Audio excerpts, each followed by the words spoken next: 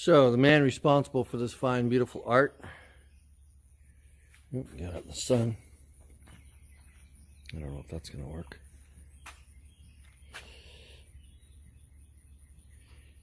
Harvey Mork.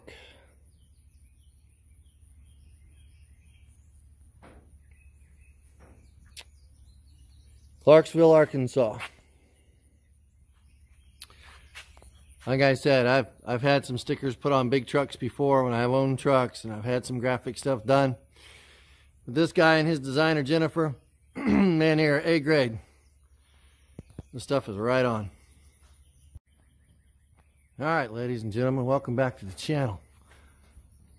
This is the moment we've been waiting for. There was some confusion about the brow band sticker, so the RV part got left off but he's going to make that little sticker and bring it and stick it in between Bandit and Travels. So it'll be Time Bandit RV Travels.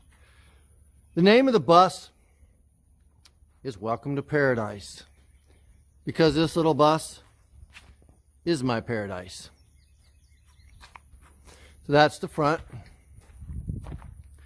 Back pretty much looks the same. So the roof deck is coming along and almost ready to mount. Then we'll do the solar panels and paint it. Ding. Welcome to paradise. he did a really good job. His name's Harvey. He's got a graphic company. And I'm going to get you uh, the rest of the information about this. Give him a plug because, like I said, he does really excellent work. Really happy with this.